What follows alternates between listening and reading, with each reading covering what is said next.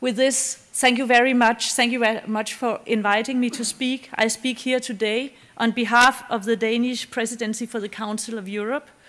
Uh, and I would, uh, in that, say, that it is fantastic that again uh, you're taking the opportunity to bring all these stakeholders together uh, to discuss where we are at the day uh, today at this uh, very important area, what has been achieved until now, and what is more to do. We have heard earlier that rare diseases has low prevalence, but there are many of them. And I think at the moment uh, there is a common agreement that is something between 5,000 and 8,000, but I suppose this number is without the rare, rare diseases. So to my natural science background, I suppose if you go and seek, you will find even more. So I think the task and, and the ambition for this uh, conference, EURORDIS, and for all people working in its areas are completely important because diseases not, not only affects patients but also uh, their families and their friends around them. For each single rare disease, relevant knowledge and expertise are often scarce. Research is difficult, and the risk of delayed diagnosis and inadequate treatment considerable. For this area, and I'm happy to hear what the Commissioner said, it needs special attention. And in, with this respect, I can say, coming from a country with five million people, if there wasn't an international network, I think it would be even worse. But in a network, even in a country with five million, if you take the forefront, you can add to the network. That's the idea of networking. So we need to work together and not only using the database of 5 millions, but 500 millions. We have heard that in EU we have already come a long way from early discussions more 10 years ago with the orphan medicinal product, medicinal product uh, regulation from 99 to the Council recommendation on action on the field of rare diseases of 2009, where member states is recommended to elaborate and adopt national plans by the end of 13 and we just heard the commissioner saying that the commission will try and also have a stock taking on that. Uh, and i think a very important part of that is of course that it will also identify centers of expertise and of course it's needed when you have scarce resources and scarce knowledge. And that it is worldwide as well. We also heard with the International Rare Disease Research Consortium, which was lately formed under the US National Institute of Health and the Commission. So the work on rare diseases and orphan drugs is a global issue. Now we are facing challenges of establishing the European reference networks where relevant and necessary between the national centers of expertise. And I have seen that there is a great focus in theme two on that in the program. And I hope that it will even lead to more focus and more enthusiasm about creating these centers.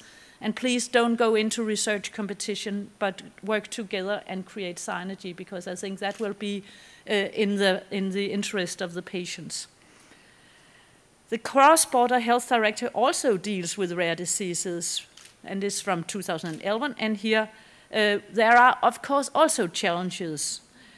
But patient has now right to treatment, and it needs also to strengthen the cooperative approach by the European country. If you go and see for the success of the EU uh, orphan medicinal product regulation, it is, you can simply count it. And I just saw uh, a press release from uh, EURORDIS that there was given the number thousand designation to orphan drugs. And uh, I think it's just counting success. And uh, yesterday morning, I had the pleasure of uh, saying welcome to the informal or the presidential meeting of the Committee of Orphan Medicinal Drugs. The members here, I'm sure some of the members who were not present in Copenhagen are present here today. And it's fantastic what these people also have been doing. Our people, our expert. And if you see in these 11 years of existence, and with the support about uh, all things which is in regulation, I don't think we could have been there today without this regulation. And that is congratulation, I think, to all who had been working on this. But of course, there are still uh, needs because there are uh, needs for other products. There are uh, challenges to the regulatory system about inadequate uh, how to measure efficiency, how to make added uh, benefits, how to follow the drugs on the market, and also the most focus nowadays on the post-marketing areas. The EUCERD and before the Task Force of Rare Diseases have produced reports and papers of highly quality and inspiring member states on how to work with rare diseases. And it's just very much important to continue this kind of work. The work of EU on rare diseases in, in, is inspiring the outside world. And again, sometimes we feel a little say, oh, Europe and all other places are doing things much better. But to be completely on this area, we are inspiring others. So let's continue inspiring by being in the forefront of that. Such centers uh, in Denmark, an information center was established way back in uh, in 90, and the Centers of Rare Diseases all, uh, was already started in 2001. But of course, it has to be developed and it has to be created as a network. When we are pursuant to the Danish Act, uh, Health Act from 2009 and the National Board of Health announced in 2010 a number numbers and names of hospital departments which were approved as national centers of expertise based on and among other things, criteria regarding rareness, complexity of the disease, and experience and multidisciplinarity of the hospital. And right now, we are, have our working group on the national plan or strategy for rare diseases in Denmark is revising the recommendation, and that will be our contribution to the 2013 demands, based on gained experience and new inspiration, also from you colleagues out there. Most of the other European countries have already made national plans and working on it now.